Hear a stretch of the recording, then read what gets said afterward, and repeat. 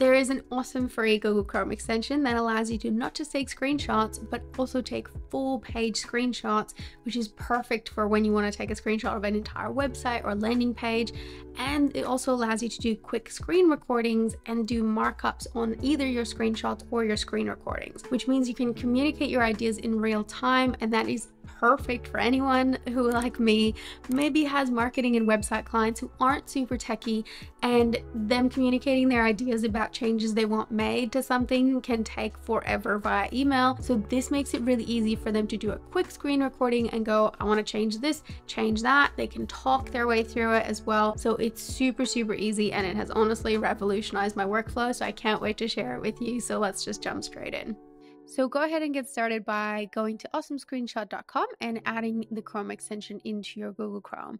Once it's activated, when you're on a website like this one in particular, I'm going to be using as an example because I've just recently been working with my mom on me designing her website. And when you're working with clients who aren't super, super techy, it can be quite hard for people to communicate their ideas and suggestions for improvement. So tools like this can be a massive time saver. So once the tool is active, you'll be able to click on it and see that you've got some capture options for just screenshots and then screen recordings as well. So for screenshots, you can basically just say capture whatever is visible on my screen at the moment, capture the selected area. So similar to what you might be familiar with on your Mac or on your PC, where you can kind of go, okay, I just want you to capture this section or you can then also capture the full page, which is the kind of cool thing because not a lot of native screen capturing functions have that capability. So that's the one that we're going to be working with for this. But just one thing I wanted to point out is in here it'll say save image to, and at this stage we're going to be working with local, but you can also save it to a cloud, and we're going to talk about that in just a little bit.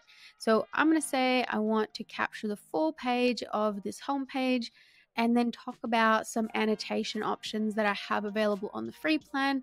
I think that the pro features aren't that fancy, to be honest. I think the free plan has a lot of really cool capabilities as it is. So, for example, if my client noticed their spelling mistakes, they can grab the highlighter and just say, all right, there's something here. If they wanted to tell me a little bit more about what this actually means, they can use something like the arrow and maybe the text box to say, hey, there's a spelling mistake right? So they can just sort of talk me through their ideas on the screenshot and then they can go, all right, that's done, and save that either as a PDF or just download that as an image, maybe add it to a Google Drive or to a Slack channel that we might have that will basically tell me what their ideas are about the website I'm designing for them.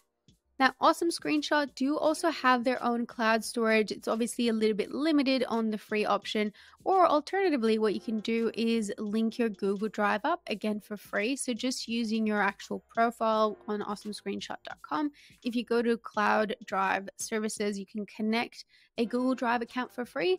Dropbox and other storage services are paid, but Google Drive is actually free. So if you are concerned about just having way too many images passing back and forth, that can be a really, really easy way to do that and make it really simple for you to share your images across with clients as well. All right, so that's how we tackle screenshots. Now let's take a look at the other functionality, which is all about screen recordings. So occasionally there's just a little bit more explanation required than what just a simple screenshot can handle, and that's where the recording option really comes in handy where you can record your full desktop if you're switching between tabs or just the one tab or your camera.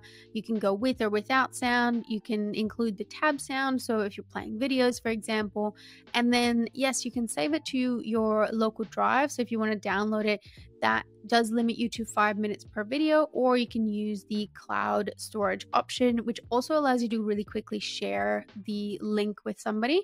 So that's a really nice and easy way to do that. But honestly, five minutes is more than enough as well. So whatever option works best for you, and then you're just going to start recording. So as a client in this instance, here are some things I could talk about. Hey Mags, I'm really liking how the website is turning out. I think it's all looking really good. Um, I just had a few ideas. So I'm thinking we could actually remove this home button in the menu here um, because yeah I don't think we necessarily need it because people can just click on the logos to get to the home screen. Could we also maybe swap these two colors? So basically just make this background blob the lighter yellow and then make this outline the darker yellow. I think that would look really cool Otherwise, I really, really like everything. I think these buttons could perhaps be the darker versions of our colors. So, you know, we've got that bolder green and the bolder yellow. So that might give it a little bit more oomph rather than being the same color as these. But other than that, it's all looking pretty good. I'm really happy with how it's turning out and I can't wait to see the final version. So now I need to be able to send this to my client. I would probably rename this because at the moment it's just brought in the name of the website. So it would just be something like website review one or with website clients probably like number 734 and then because i've saved this to the cloud i can generate a shareable link or i can go ahead and download that and maybe upload it to my google drive or something like that. So now if i was going to send this to my client i'm just going to open this up in an incognito window. So see I can see what they see and they'll be able to view the video and maybe give me some comments on Slack or via email what have you it does have the option for them to also sign in and leave a comment or um, provide reactions but I don't think it's all that necessary so yeah, they'll be able to basically view everything and listen to the audio as well, which I'm not playing at this stage. But it does make it really, really easy for me as someone who's looking for feedback to get visual feedback straight away through a video clip like this rather than faffing about with a hundred different emails and trying to interpret what my client is trying to tell me. And that's it for today's quick training on how to take better screenshots and screen recordings and how to optimize your workflow with your clients. I hope you really enjoyed it. Let me know what you thought in the comments and make sure to subscribe to the channel so you never miss a future video just like this one. Thanks so much for being here and I'll catch you in the next one.